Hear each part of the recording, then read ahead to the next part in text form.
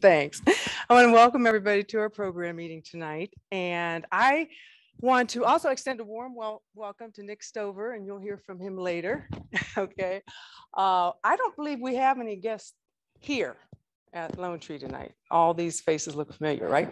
So I wanted to check and see if we have any guests on Zoom. And welcome to all of you as well. Okay, Steve, would you like to say a few words? Tell us a little bit about yourself. You're muted. He's muted. Hi, how are you? Fine, how Uh, are Butch, you? uh, Butch Mazuka asked me to uh, check this club out, and uh, so I'm here. Great. Well, welcome. Glad to have you tonight. Okay, so I just I have one announcement, and I'm going to turn it over to uh, Dave to get the program started. And I just want to remind everybody that we will be having a Meet the Mentoring meeting at our home on the 25th of this month, September. And it'll be an opportunity for you to actually meet and talk with some of the mentors here at Focus and uh, share some of the areas that you might like to be, you know, receive some help in. So we look forward to seeing some more of you. And uh, with that, I'll just turn it over to Dave.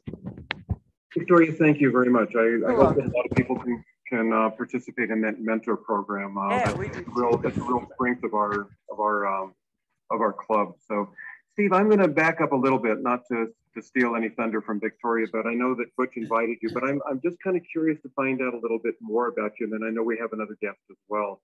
But I mean, you know, so Butch kind of, you know, kind of made the con or made the context uh, for you for focus, but tell us a little bit what are you looking to to get out of a camera club or or what would you be interested in Oh, I'm just interested in. Um, uh, I'm always interested in sharing photographs and techniques, and um, you know, uh, getting involved in the critique process, especially when it's as uh, low key and friendly as Butch was explaining that this club is. Um, I've uh, experimented with a few others where it's very, very pass, pass or fail, and uh, you know, some fairly harsh talk really about photographs rather than uh, you know going at it from a learnings perspective and a growth perspective. So it just sounded like my kind of place. I've known butch for quite a long time. He's one of my clients for my lightroom and photoshop support uh, business. And so uh, i'm just in, interested in uh, finding a group like this. It's nice that it's on zoom for me. I'm up in outside of fort collins. So it'd be kind of a long drive to come in person well you'll find that we're kind of a kinder gentler photo club. Um, it, it's all about you know kind of bringing people along and improving you know because this is a kind of a shared shared love for all of us. So right right. so i mean i, I think that sometimes um, you know some ju- judges can be a little harsh. It's kind of tough to, to put out your print and have somebody stab you through the heart with it you know whatever. But i think you'll you'll find us good you know our and this goes for the other guests we have as well kim but i mean we have two meetings a month. We have a program meeting the second uh, wednesday of the month and the fourth wednesday of the month. We actually have competition. And so we have have judges and and uh, submit you know photographs for critique. So so thank you for for saying that steve very much. Yeah. And i've got another guest by the name of kim uh, kim norris so Kim, I'll have you unmute yourself and tell us a little bit about you and kind of what you're looking to get from the Camera Club and any questions that you would have for either myself or any of the other members. Um, well, I'm originally from Texas and I relocated here for a um, career opportunity that's um, in the Denver area. So I've been up here since the end of 2019. Okay. Um, I've been doing photography probably since I was about 12. And so that's a few, couple of decades, I guess. um, just looking for a good photography club that's busy and has events and um, doesn't just meet, but you know, also goes out and actually does photography out in the field too. I mean, this is an amazing state, and to sit at home is is tragic. It is. So that's what I'm looking for. I'm looking for people that like to get out and photograph stuff too. So Well, very good. And I mean, you know, I think Victoria mentioned that, you know, this, you know, we're, we're moving towards being more active in mentor and, and um, you know, group shoots and, and bringing along people. And, and Kim, now that I listened to your voice, I think you joined us the last meeting. So, so I, you know, I didn't recognize your name, but I certainly recognized your voice. So thank you very much for joining us on that. Oh, thank you. Thank you. And I guess other bookkeeping, we've got uh, the next competition we've got in, in two weeks. Uh, that's going to be um, the, the topic is black and white photography. And it's actually going to be a judge by one of our former members. He's a phenomenal um, uh, fine art uh, black and white photographer. He moved to Charleston, South Carolina. So he's, he's a little even further away than Steve is up in Fort Collins. So, I mean, but he's, he's phenomenal and he's, he's very, very, um, oh, I guess what's the right word? I mean, he's he's very very sensitive, but but informative, and so he'll he'll talk about each individual image and. And it's, it's not only really to, hey, here's what I like, but here's what you could have done to do a little better, maybe a little bit more contrast or whatever. So I would really encourage everyone to, to listen to Kevin Holiday, and that's going to be in two weeks. The description of that competition is going to be on the website. So I would urge you to um, to explore that. So unless anybody else has anything, I think I'm going to launch in and introduce Nic tonight. So um, I've followed Nic for a couple of years, and I think he actually um, kind of introduced himself to us. It's a nice way of saying stalked. Yeah, I no, stalked you, you guys. well, it is what it is, but I mean, you know, I, I, I admired your hustle uh, for you know approaching to hey I, am a photographer I give talks you know educate people in, in photography I'd love to talk to your camera club. So I'm glad that our schedules finally you know finally meshed Nic. So so I'm going to introduce Nic and then I'll keep them keep these uh, comments fairly brief and then I'll turn it over to Nic. But Nic was raised in Carbondale Colorado so very very envious. And as I remember off of his um, website, he, he, they had a single family subscription to National Geographic and, and five TV channels, which doesn't surprise me in, in Carbondale growing up. But, but you know, the only family channels that they watched regularly was, was Nature on PBS or the Tour de France. Uh, this is where his love for adventure and outdoors and travel photography and, and travel in general took, took shape.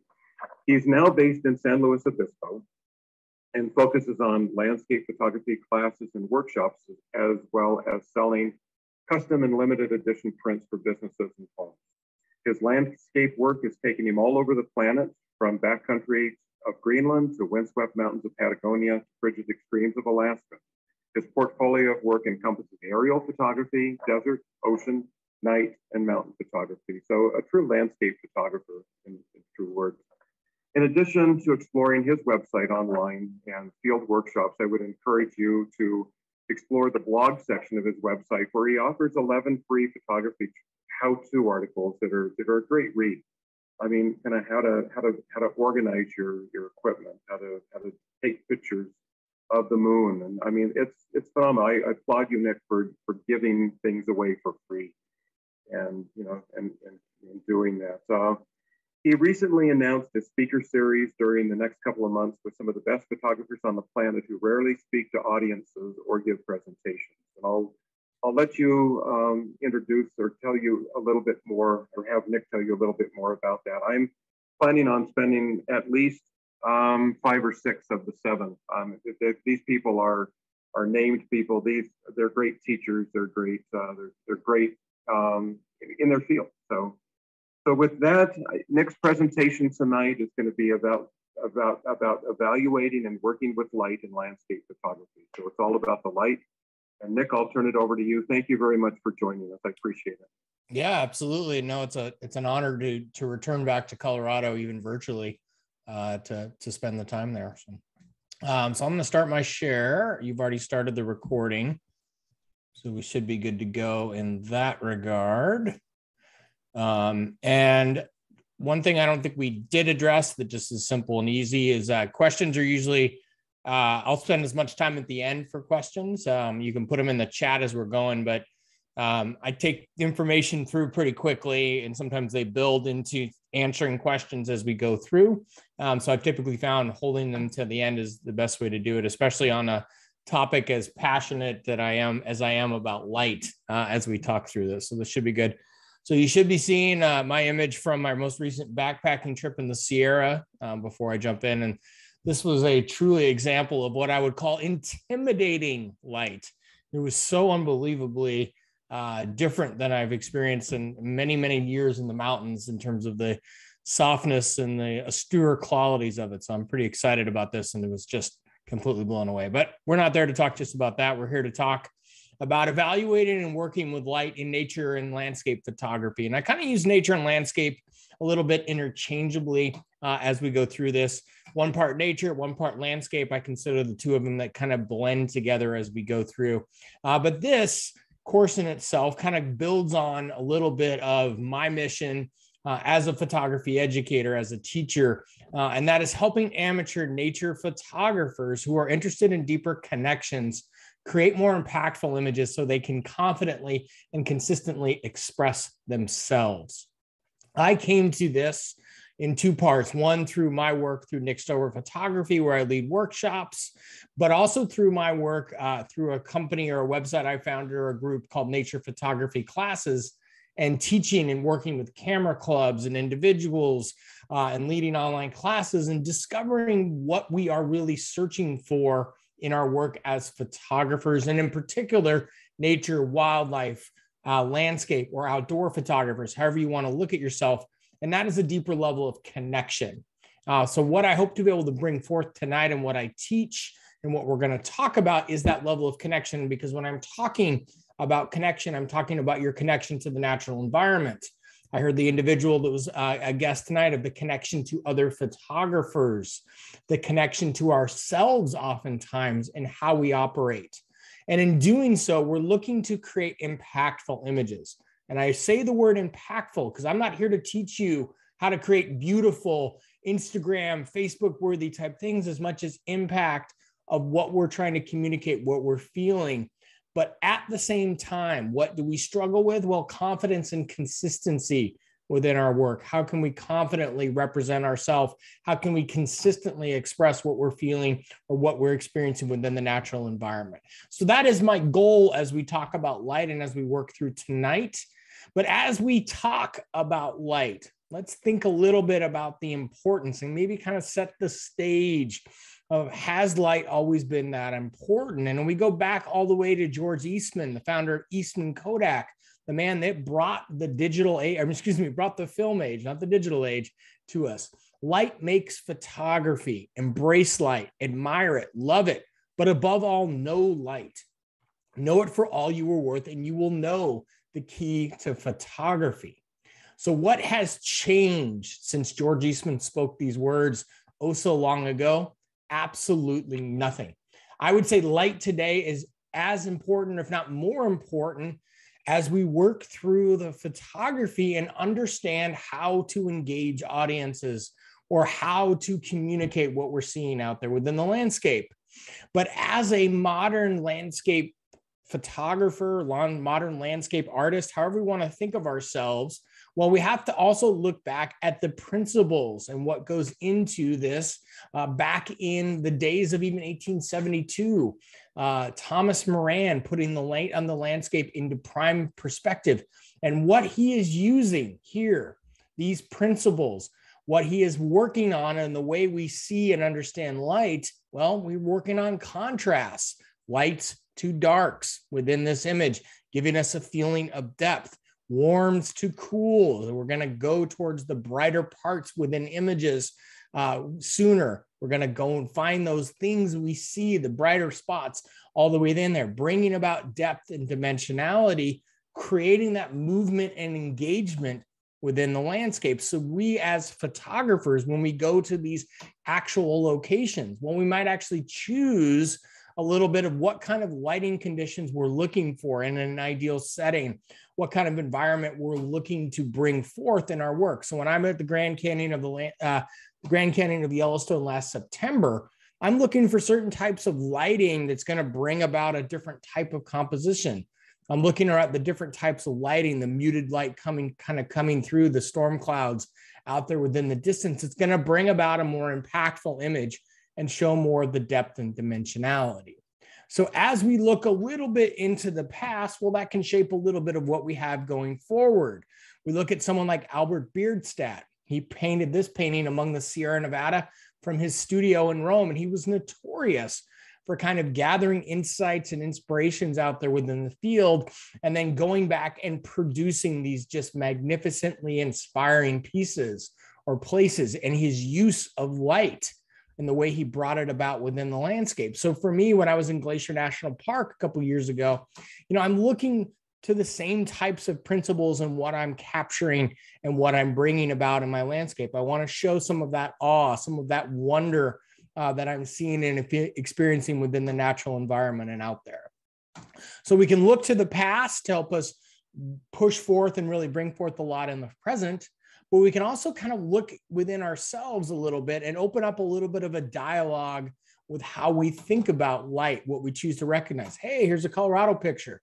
This is Snowmass Lake. This was in 2017.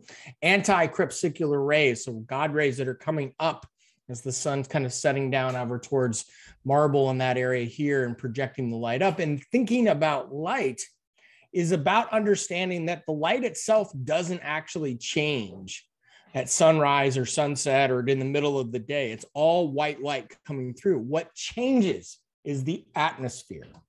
And what happens at sunrise or sunset is there's more atmosphere, there's more particulates, there's more moisture within the air as we're getting the sun is getting closer to the ground, which is softening the light.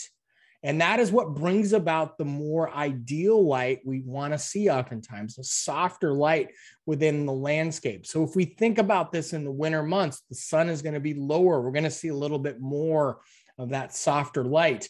In the summer months, as all of us know, or those of you in Colorado above a mile high, while that bright sun in the summer, well, we're going to see that harsher light. So, how are we working with that environment and kind of thinking about the optimal light we need? And as we think about that optimal light, well, also thinking as well about how our eye sees things compared to how our camera actually will capture and what it chooses to view. And we think of the words of Galen Rowell, I began to realize that the camera sees the world differently than the human eye. And sometimes those differences can make the difference between, excuse me, make the difference, can make a photograph more powerful than what is actually observed. And I think this is really key to understand as we work with the light and we do night photography or we do other types of things where the sensor is going to bring about a different level of depth, a different level of dynamic range than our eyes can see. And not always for the better, because when we look at our cameras, compared to our eyes. And we should think or start to think about the ranges or the stops of light that are out there. The range of light that can be measured through specialized equipment on the planet is about 30 stops. The darkest of darks to the brightest of brights. Well, our human eyes, we can see about 24 stops of light. So with us, we can instantly discern between the brightness of the sky, of the looking out of a window from the darkness of the foreground of where we are. But what can our cameras actually capture? Our cameras can capture about 14 to 15 stops of light, some of the better ones today meaning that we, our cameras, are never going to capture the full amount of light that we see. And this is where people think, oh, I need to bracket so I can get back to that 24 stops. Well, there's one other level down. And this is the key thing in how I choose to engage and think about light. How much light can our printers or our monitors actually display? And this is where we get down to about 10 stops. So rather in our photography to be focused around getting back to that 24 stops of light, we need to be focused in the midtones and the smaller portions of the light that can actually be displayed in our printed work or on the web. And so when we think about this, remember, I'm trying to get you to understand or to think or to talk about how our camera sees things differently, how our camera sees things differently related to the eye. Well, let's look at our camera. This image right here is a raw image straight out of camera. F22, I'm getting that Sunstar. This is my raw capture, Nikon D810 at the time when I took this image. Completely dull, completely lifeless. Most people would say this image is underexposed, but yet, when we look at this, yes, I have some clipping. My highlights are always going to clip if I'm photographing directly into the sun. But I know that the dynamic range, if I'm capturing in raw format, I can pull back so much detail as I open up my shadows, as I slightly increase my exposure, as I work a little bit of my whites, as I take down that little teeny bit of the highlights to be able to capture a scene or a situation like this. So understanding how the camera is going to see something and capture it, well, that shapes a lot of how I'm going to then post process the image all the way through. And so there's part of that understanding how your camera operates and how we can bring back that detail within the post processing. There's also the part of how we see light as we're capturing our images. And the simple truth is, our eyes don't have a choice in terms of what we see or how we see things. The longest wavelength light will be seen the soonest within our images. This is going to be our reds, our oranges, our yellows. We are going to see that before we see our shadows, that cooler wavelength light, our blues, our teals, our purples. So if we're looking at a scene or a situation, going all the way back to thinking over the Grand Canyon the Yellowstone with the Moran or whatever else we're doing, the eye, the coolness should recede into the image and the brightness should be advancing. And what does that look like in natural environments or images?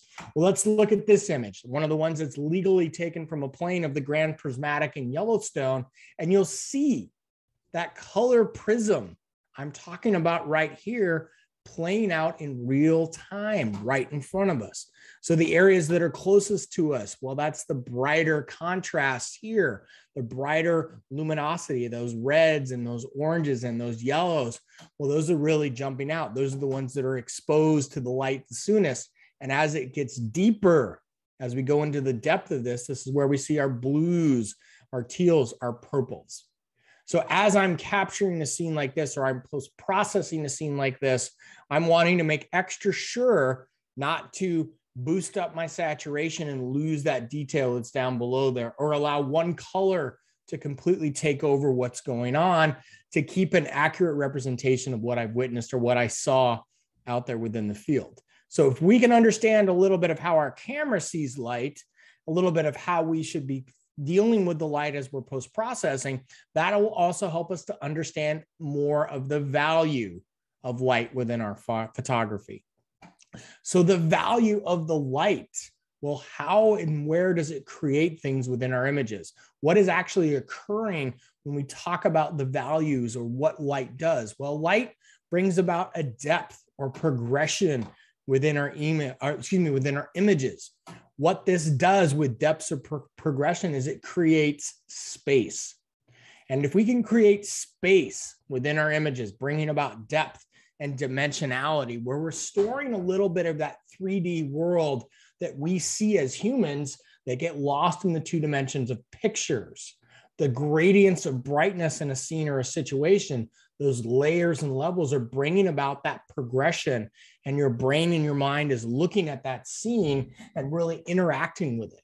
And interaction is the number one thing we're looking for light creating that interaction that movement between the warms and the cools the brights and the darks going back to that shorter wavelength cooler light to the longer wavelength warmer light of the sunset that's down there.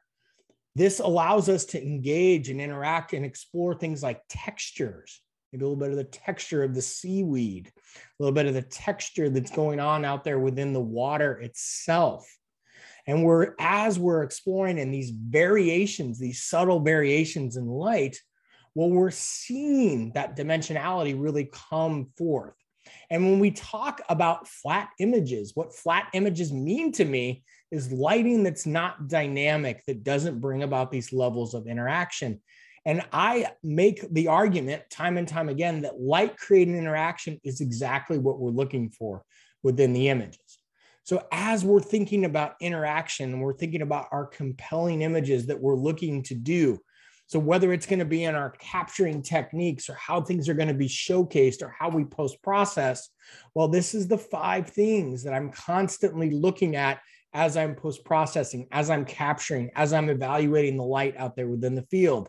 Depth, where and how can I focus on transitions within my images?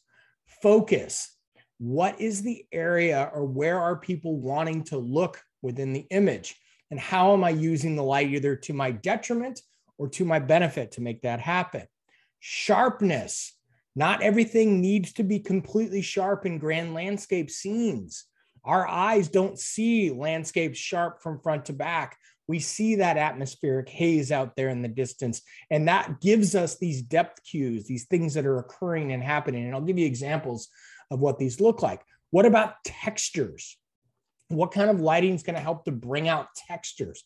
People love to be able to engage and interact mentally with textures. What would that feel like? What is causing that? What is occurring within there? But also remembering luminosity.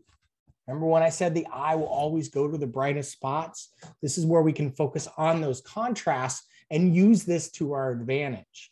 So let's see what this looks like in five images of each one. So textures, where and how are people wanting to feel or touch or what kind of lighting is really going to help to bring forth a show of texture in a scene or a situation. Sharpness. This is up in the Canadian Rockies in January, photographing the ice bubbles, the sharpness. I'm focusing and I'm focus stacking to have the area be the sharpest down in the lower portion of this image. I want this to be sharp. This shouldn't be out of focus, but it isn't the main focus. I want it to be really sharp. And then the same way my eye would see it, start to fade a little bit as we go back out there within the scene or the situation. Depth, well, how am I using the lighting? This case, I'm using a lot of side lighting, which we'll talk about next, how light shapes our images to bring about a tremendous amount of that depth and that feeling. This is in the Ibex Dunes in Death Valley. And I'm using the lines of how they're creating that serpentine flow to kind of lead you back through. And I have the clouds in this particular instance and case helping to build that case. And we have a lot of depth, a lot of focus, a lot of these textures, and the lighting is what's bringing this all about. Focus, well, how and where are people going to look uh, in a scene or a situation like this? The dappled lighting, how it's working through there, it's helping to accentuate the focus uh, within this particular scene. And then luminosity, how the eye will always go to the brightest spots. We can find supporting things to really drag us or push us through into these areas. But the eye is going to go over, oftentimes, as it looks as a scene, it's going to go over those cooler parts and really focus on the warm portions. And then as it's engaged with the warm portions, it's going to kind of pull back and investigate other parts of this. This is the Paria Canyon uh, in Utah. So understanding these five things that go into it understands or help us to understand, well, how are we going to look about how light shapes our images. So anywhere you see one of these QR code scanners, there'll be a couple more coming up. You can scan it with a smartphone uh, and you can download the charts. I have different charts and graphs. There's some stuff on composition that we're not talking about tonight. All free things on my website you can get for free. Also takes you to the speaker series pages or my uh, my workshop pages as well. Uh, so this is a great way to connect. There'll be other stuff at the end, but we're going to talk about how light shapes our images, the angle, the direction, the color, and the intensity, and understanding what each types of lighting is going to happen in these areas. Well, that's going to help you in this dialogue with light as you go forward. And to help you along the way, I'm going to use a little bit of the words from the late, great Galen Rowell and talking a little bit about his views of light and how he brought it forth in the landscape. And I like this one the landscape is like being there with a powerful personality, and I'm searching for just the right angles to make that portrait come across as meaningful as possible. So, thinking of our subjects within there like we're shooting portraiture work or understanding what the angle is related to things, well, that's going to help us. So, we basically only have two angles of light if we're going to be completely honest. Yeah, we could have mid angle, but we have a high angle and we have a low angle light. And so, what low angle light in this particular uh, instance here is good for, this is in the Canadian Rockies, is accentuating. So, I have a very, very low angle winter light. So, going back to the understanding, the light doesn't get as high. And as we get closer to sunset, it's very low angle. And that's really good for creating a lot of shadows and textures and detail within the scene or the situation versus a high angle light, much more white light very little shadow detail. I don't have any shadows within this image. Some people would say it's a harsh light, but if my intention, like here at the wave, is to show the details within the undulations and the lines within there and have the image feel extremely uniform, well, I want that harsh light. I want that midday light. I do not want shadows within this image that you're getting lost in that are making it feel blocky or choppy all the way through. So matching what I'm wanting to bring forth in my intent to the type of light is a big part of that. So angle, think of the two, high and low. And then we have direction, the direction of the light as it's striking our subject or illuminating our subject. And we'll talk about the four right here. And we're going to talk about Galen. I find some of the hardest photography and the most challenging I've ever done. It's a real challenge to work with natural features in the natural light. And I love this part of photography. I mean, one of the things, of the facets I love, I love being in nature, immersed with nature. That's my primary reason to be out there. But I like the challenges of photography and reading the light and understanding it all the way through and understanding what it's going to do. So for me in this scene or situation here, I didn't even break out the real camera on this particular morning because uh, it was a smoky, smoky morning and I was dealing with front light in this particular situation. Front light is my least favorite light. That is where the light is behind you and it's striking your subject. So think of it striking the front of the mountains as the sun comes up or sets all the way down through. And why I don't like flight, ugh, don't like front light is it flattens out my images. I lose a lot of that texture. I lose a lot of that detail within my scenes and situations. I don't have the dimensionality I'm oftentimes going for. It's fascinating when you look at this image here. There's actually a mountain in front of this mountain here, kind of goes up, and there's a front mountain, and you can't even see that. That front lighting as it's lighting up is completely flattened it out, taking away so much of the texture and the detail we go for. So we can get this from time to time and still make compelling images uh, all the way through, but understanding if we don't have anything that's softening that light ever so slightly. Uh, this area, there was zero clouds uh, and there was smoke in the air, the, but not enough to soften it to the point where we're being able to work with the light. So I don't love front light. I do love in certain applications backlight. This is where our subject is in front of our light source which is the sun for us in landscape photography. It could be something like the moon. And this is really great for details or textures. So whether it's moss hanging down on branches, or in this case of this winter oak here on the Central Coast, I'm wanting to show the arterial branching that's occurring within this oak. So I'm waiting for the point in time when the light has dropped down below and that backlighting is going to come through and really show that branching as it works all the way through. So silhouettes can be really, really helpful to bring out with backlighting. We can also use backlighting to do something like this. Uh, get creative with sun stars. Uh, so small aperture, wide angle lens. This is f16, shooting into the general direction of the sun and kind of then using that portion of things uh, by partly blocking it. In this case, this is the racetrack in Death Valley to create that sun star.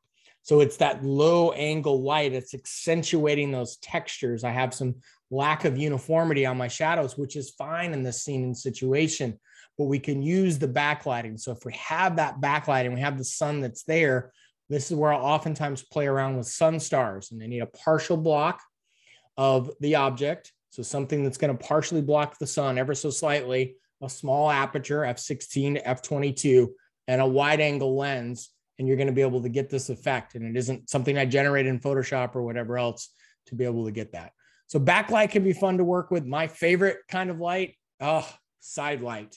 And the reason i love side light well it's falling at about a 90 degree angle from my subject i'm photographing and me. So it's falling in between us. It's dimension. And dimensionality with light and how we work with light is an absolute thing we want to get.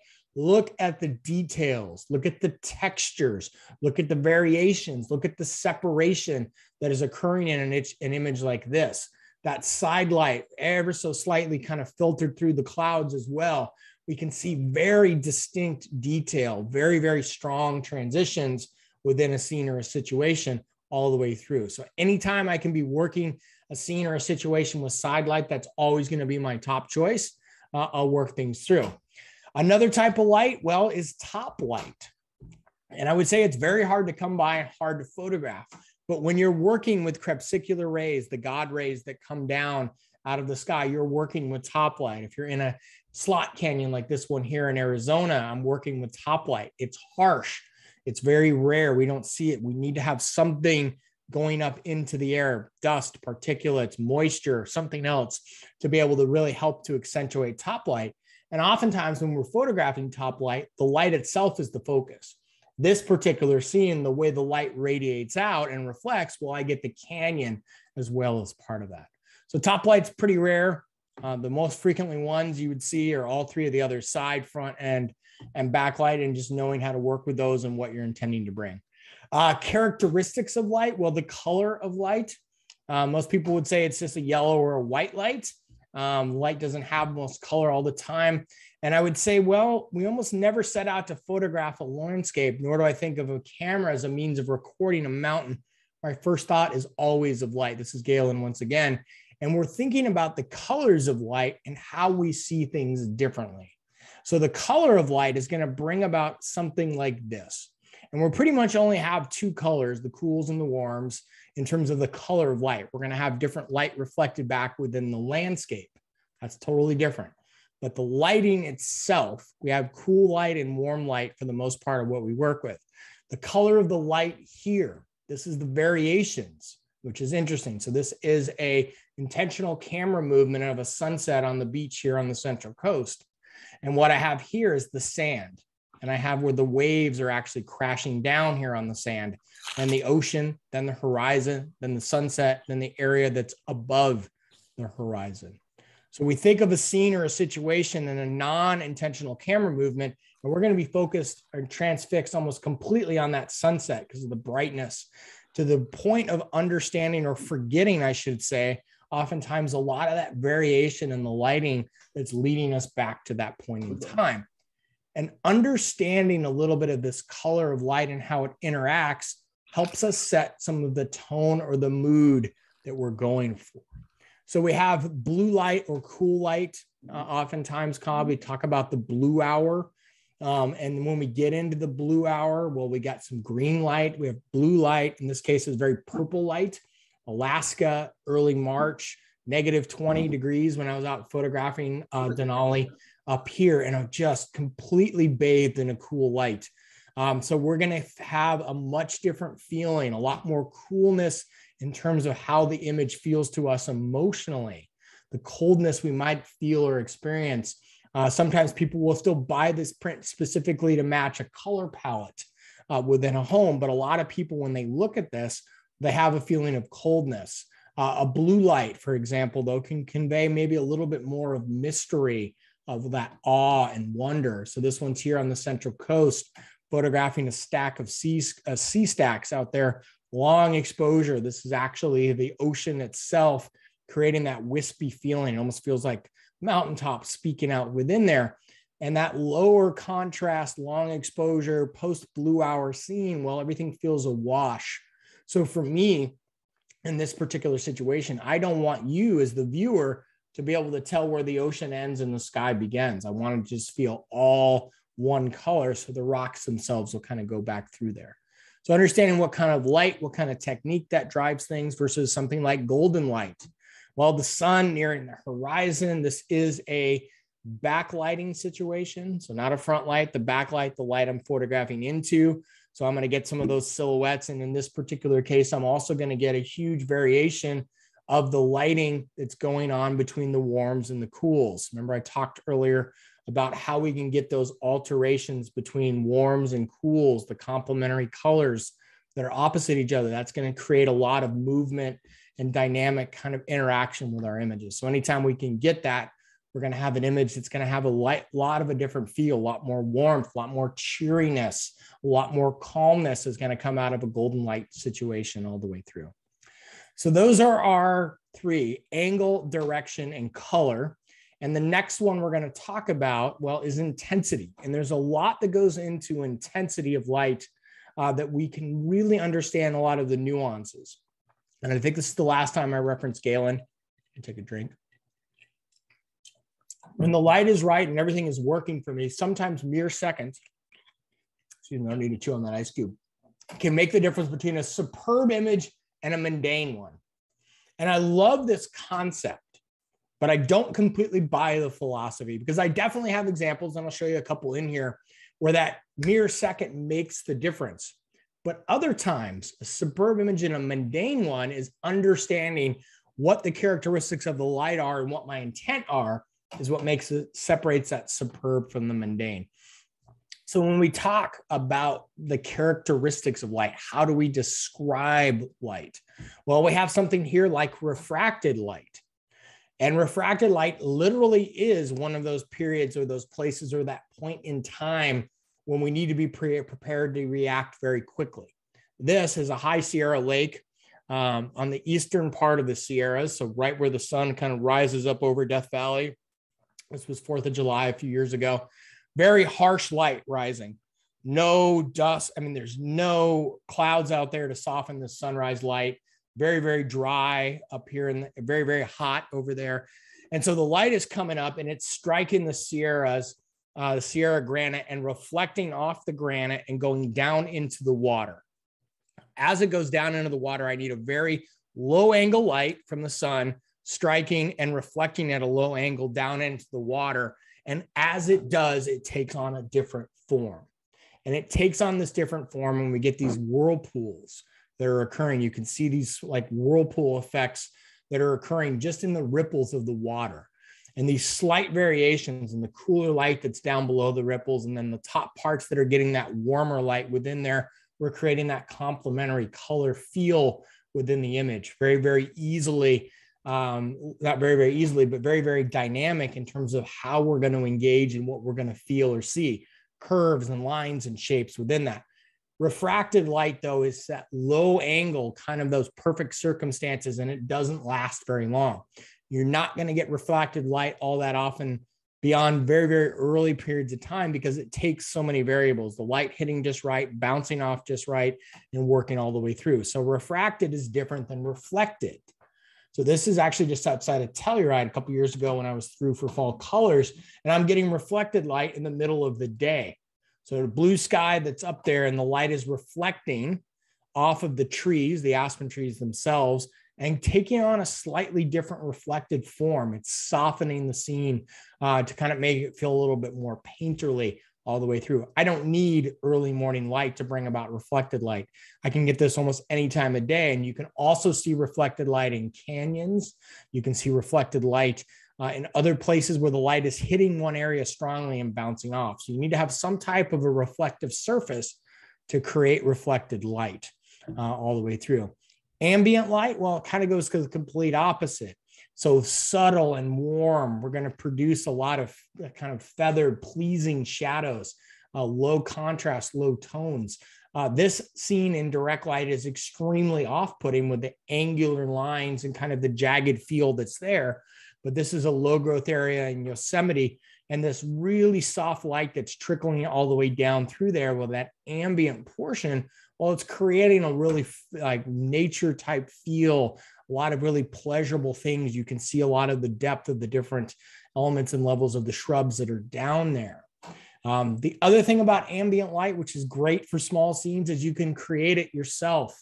Um, so if you have an area that you like the scene but there's too much bright light well maybe you can bribe somebody to stand there with their coat and block the light for a little bit for you. In this case I loved the scene, but I had little shafts of light coming through that was making it really off putting. And I asked my backpacking partner, Hey, Tom, will you stand there for a minute and block the light for me?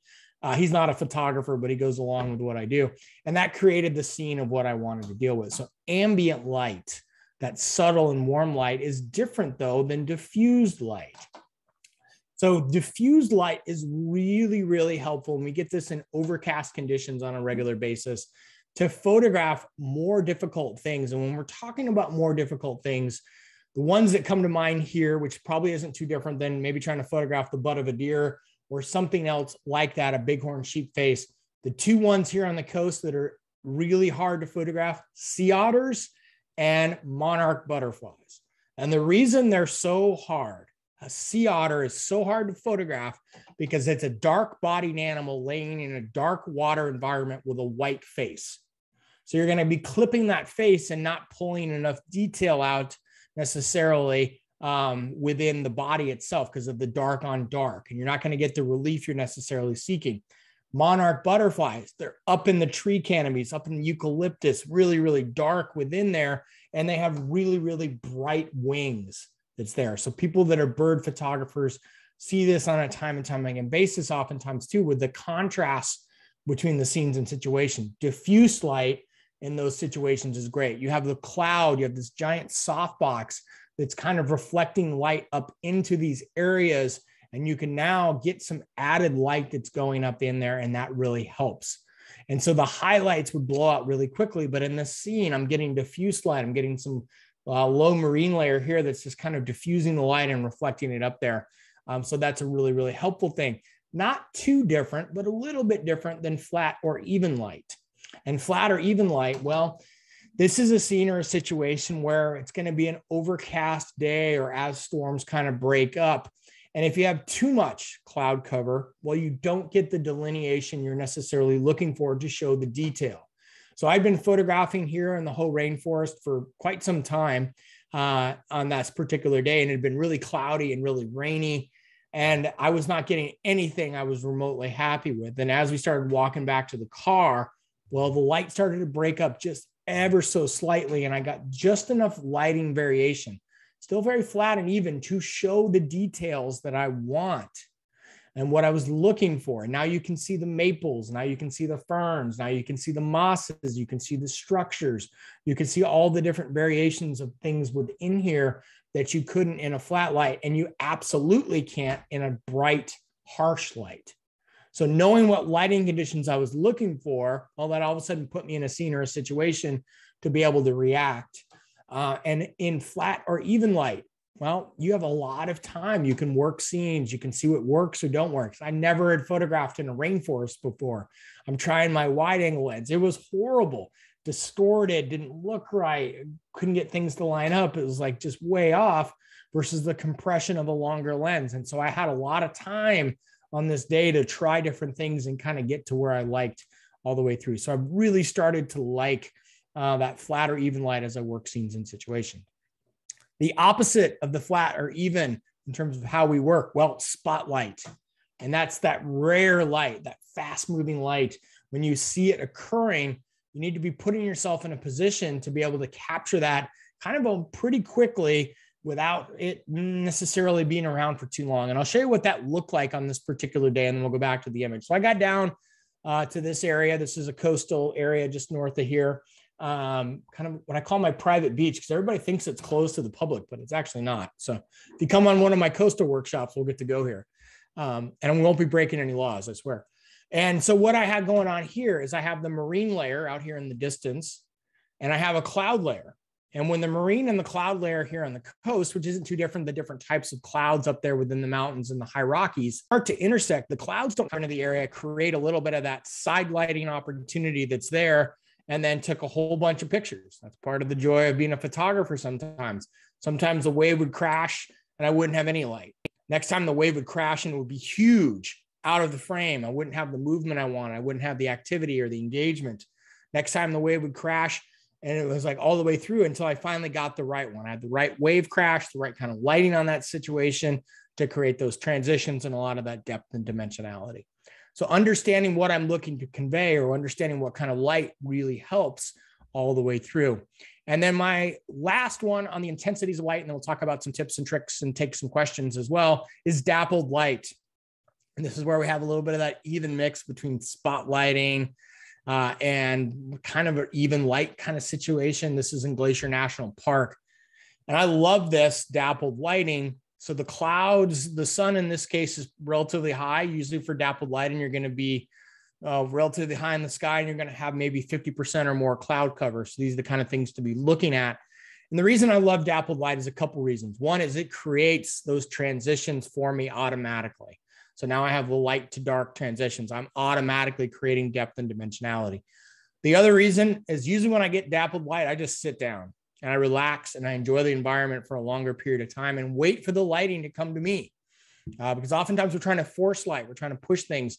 And dappled light for me, I'm waiting, taking pictures, just absorbing the environment. This is Dawson, Pitamakan, and Glacier. So I had the right mix of lighting. I had light up here and light on this mountain, light on this far mountain, and I have darkness kind of down through here. And that is where I'm going for. I got lighting in my two main focal point areas within the image, uh, and I have some of the variations all the way down through. So that's a big part of it is where do you want the focus to be going back to what I talked about. And I wanted the focus to be on these pointy peaks. So I waited for the right lighting conditions to get there all the way through. So that's the last bit of intensity. And we're going to talk about uh, how we can most effectively use light within our images. Uh, and then we're going to talk, I think, about what was the last one I want to talk? Well, we'll get to the last. There's about 10 slides left. So bear with me. We're, we're on track. So all the way good.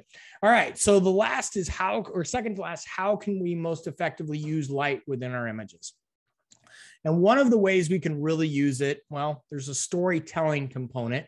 And I think by this point in time, you guys really clearly understand that the eye is going to go towards the warmest and the brightest part of an image without fail and our proper use of light. So in this case, for instance, I'm using the moon, not the sun, the moon coming up to accentuate this oak tree in this scene or situation. And I'm using the light to direct you exactly where I want you to go. I want to focus the attention just on the oak, just on the on the mountain or the moon behind it all the way through there. So we can use the light to really amplify or focus attentions, but we can really also use it to amplify transitions. So the way it's striking the landscape, thinking about this, I have a sand dune. This is down here on the coast. The light is striking this one dude that's in the sun, reflecting off of that and creating a different color, a different feel on this other area within there. So this is also amplifying our transitions. We now have really, really strong texture lines. We have really, really strong angular lines that are bringing a lot of structure and a lot of movement to the image. The right kind of lighting makes this possible. The other way we can use light, well, is to tell a story. The Italians actually have a word for it, chiaroscuro, and that is the balance of light and shadows or the dramatic effect uh, of the contrast between those two. So if we take this image and I call it my heart of stone, and I captured this one up in the Sierra a few years ago where the light was almost perfectly splitting down the center portion kind of coming down that line and the flower itself was in a heart shape all the way through. And then the first time i processed this image on the left it just looked like garbage. Absolute crap. And what i lost as i'm processing this image was that storytelling capability of showing the full form of what's there. So i'm using the light to tell the story of the light and the darkness we have within us uh, an element of composure. And as i'm post processing this well, I'm not going to take my highlights down too much or open my shadows all the way. I'm going to do selective adjustments to allow you to see that full form and some of that darkness while not having the bright side be all the way out there. So if I didn't have a clear vision of how I wanted to tell the story, well, my post processing would have kind of turned out like it did the first time. Uh, and that was pretty bad. We can also use it to produce different effects. Uh, so here's one here on the Central Coast, sand dune uh, going out, Milky Way setting out there in the distance, really beautiful area all the way through. Kind of wanted to have these lines and these textures. Used PhotoPills to figure out when it was going to be there, photographed when it was going to be there. And wow, that looks horrible because there's no ambient light that's out there within the environment. And I knew this ahead of time. I knew as we got into this area, and I can't sand, I can't light paint a 40 foot dune that's out there I knew this is what I was going to be dealing with. So now I kind of turn to, well, the areas to work a scene. I know that if I wait to the blue hour to the stars are out, well, I'm going to have the sand dune colors. I'm going to have those textures that are there within the image that I can then go through at a later point in time and combine the two images together. So I'm using the effects of the light, that low, low angle post blue hour light to bring out the textures and then waiting for this for the Milky Way to come out a little while later. Don't move the camera, just stay there for a little while and then snap the picture later. And then the other one we can do, or the fourth one, is to see a scene differently and break out of our normal mode of light. So here is the Canadian Rockies. This was in 2018 Two Jack Lake. I get up there, kind of liking a little bit of the composition, looking out over uh, Rundle, just outside of Banff. The lighting starting to come up. Uh, loving the clouds all the way through but the wind kicks up. And now we have horizontal lines that are within there that's not provoking that calm, not bringing out the reflection I really want. So it's made a matter at that point in time. Neutral density filter goes on, We bring out different hues within the clouds. We flatten out the water, but knowing that the light was going to be working for me within this situation really helped to bring out that. And then the final bit, well, three ways we can deepen our understanding of the ways to work with light. Well, this one, sorry, this one here is in Atacama Desert in northern Chile. I went there uh, for a couple weeks this last uh, March, excuse me, April, May. I went there and then up into the Bolivian Altiplano, which was oh so unbelievably incredible. Uh, thank God I'm good at altitude. Uh, the, the first one is to revisit locations in different types of light. Uh, so one of my favorite photography locations here on the coast is the Oceano Dunes. It's a bunch of sand dunes uh, that are right there on the ocean. Um, pretty short walk to get in there. Go after a windstorm or go during the week. You're not going to see anybody else. You're not going to see footprints or anything else. But what I've found is as I've worked these dunes in different lighting types, side lighting, back lighting, front lighting, night lighting, um, any type of situations, blue hour, golden hour, I see the scenes way differently. And as I see these scenes differently, well, that helps me to see the light differently and understand and bring forth a lot more of my light, just like photographing in black and white. So, all of our digital cameras, you can put your camera into monochrome mode. And when you're photographing in monochrome, it's still capturing a full color raw image, but you're going to see your previews in monochrome and you're going to see the lighting variations much, much differently if you're photographing in black and white. So this is really helpful. If you don't want to do that, I do recommend post processing your images in black and white, do a bunch of conversions, understand how to process some images in black and white. You're going to start to see the tones and the light a lot differently, or use luminosity masks. Those are also exceptionally helpful. And then the third way to, to, to deepen your understanding, well, come learn from the pros. So these people here, Marc, Adamus, Eric Bennett, Alister Benn, Sarah Marino, Guy Tall, Josh Cripps, Erin Babnik. These are friends of mine that I've learned from over the years, or we've spent time together in the natural environment. And these people are exceptional educators and people in often cases like Marc Adamus who never speak publicly or rarely speak publicly, either based on their travel schedules or getting things to align. So bringing these seven people together, I'm so excited uh, because of their transformative work and what they bring forth and what they represent uh, within what they do. So, this speaker series that starts in two weeks, actually, Marc's going to kick us off by talking about looking within. Then, Eric, who was the uh, nature landscape photographer of the year last year, adding by subtracting. He's really good on excluding and bringing things out. Alister, the emotional language of vision. Erin's going to talk about beyond perfection, balancing artistry and technique within your photography. Josh, stop being a one dimensional photographer. Guy, who many of you know through his writing, creativity, and expression in photography. He's only given this presentation one other time. Um, only the second, this is only the second group that's ever heard it. Sarah, the expansive mindset, photography experience, etc.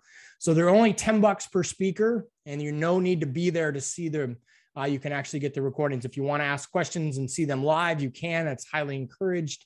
Uh, and that's on the website, naturephotographyclasses.com slash speaker series. You'll see it right there on the main page, or you can scan the QR and I'll put the link in the chat in a little bit.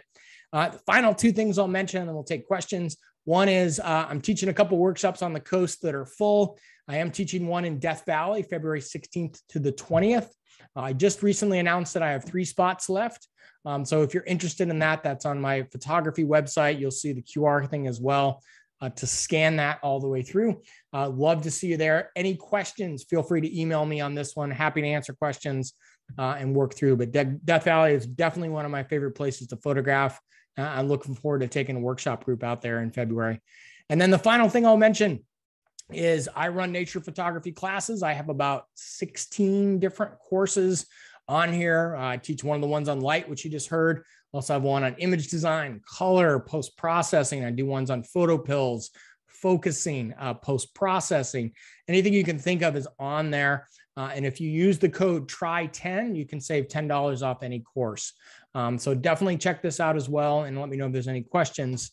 And with that, I want to say thank you for the opportunity to talk with you about light all the way through on this particular evening uh, to spend some time with some Colorado people. And with that, I'm going to stop my share and we'll take questions. Well, Nick, I'll Nick. kick off. I'm I'm blown away by you know how much information you shared on light. I you know I I don't think that I really you know kind of got the depth of what you talked about with light. I mean you know kind of it, it's always there, but you know it, it certainly helps as you've broken this down. I, I see a couple of interesting things. It's it's patience.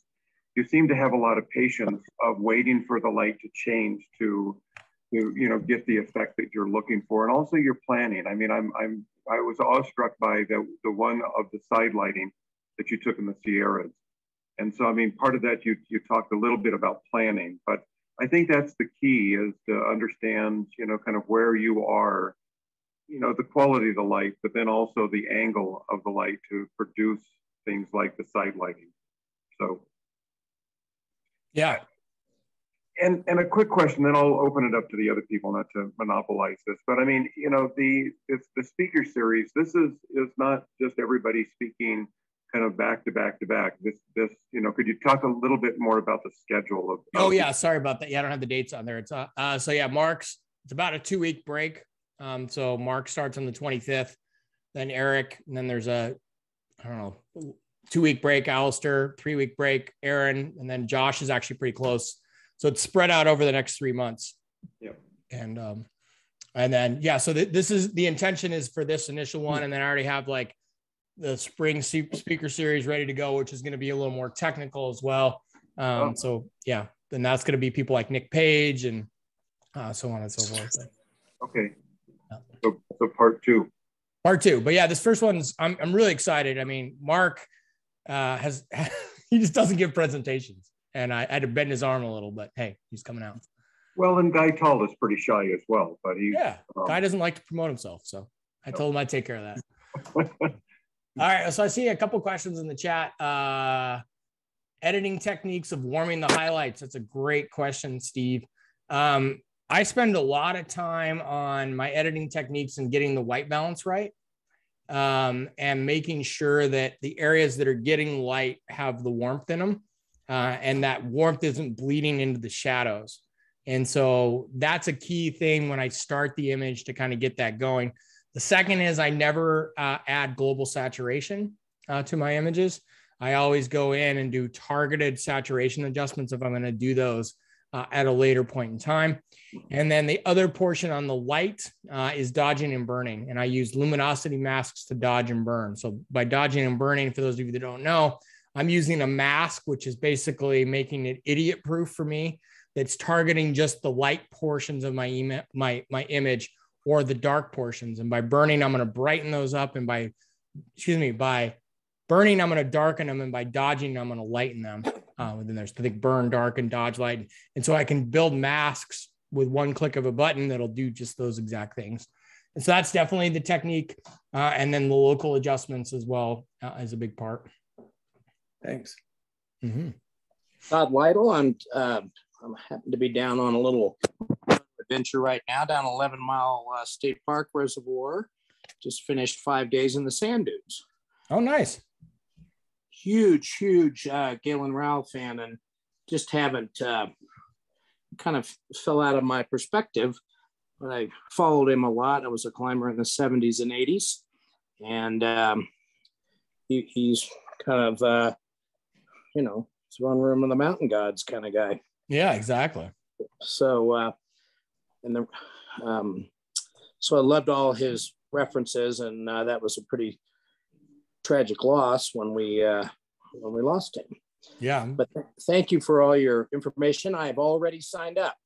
Oh, good. Well, I look forward to many I'll having you. attend, But uh, f- for seventy dollars, I figure if I make half of them, it's a bargain. Yeah. So- Well, you'll still get the other half of the recordings too. So if you don't make them live, you'll still get them later. Well, um, I, I, I, I hope that people, I'll encourage the rest of my fellow focus members here to uh, use that QR code, maybe put that up one last time before you leave. Get your phone out, get the camera, at least register for the newsletter, and then it'll be a reminder to, um, you know, maybe sign up for some of these classes. Uh, that that's exactly what I did. The QR code was very helpful, and we're all using them these days at restaurants Yeah. let's uh, let's spend 70 bucks for something that that we're passionate about. Yeah, I just put the link in the chat for those on there that takes you to that QR reader there where you can get the free ebooks, et cetera. So And my daughter's a CSU grad, so I have to give you a little little grace. oh good. Yeah. Well it's you know, we, we'll take it as a Rammy. So Thank you, sir. absolutely. All right. Other questions or comments or Well, it doesn't look like anybody's going to give you another question. So I, I appreciate you joining us tonight and sharing all this information with us. So yeah, my pleasure. And uh encourage you, you know, to keep in touch, get in touch, and then I'll put my email in there as well. And I think you'll probably send out some follow-up. But people have questions that come up afterwards. I always get a couple that come in afterwards. Somebody that thought of something later or you know wanted to ask something but thought it was a stupid question, which it almost never is. So feel free to email me later as well. And then otherwise, I appreciate the opportunity and uh, hope to see some of you for future classes or workshop or come back another day. We'll see what happens. and Steve or Nic, I, I had a really quick question on your on your on your workshop or you know on your classes. Those are recorded, correct? Yes. Okay, so I just wanted to have clarification, but I think that's great. So, but you know, I'm glad you're busy with workshops. I'm glad that people are returning to workshops and wish you the best there. Yeah, no, the workshops have been great, and it sounds like uh, Gwen needs to come come to a Central Coast one, shoot some motion images. So. Absolutely. Well, again, thank you, Nic. Thank you, everyone, for joining us tonight. All right. Thank you so much. Bye, Nic. This- all. This was awesome. Absolutely awesome. For awesome. your time. thank you. Appreciate it. Bye. Awesome. Thanks. Thanks, Nic. Nice job.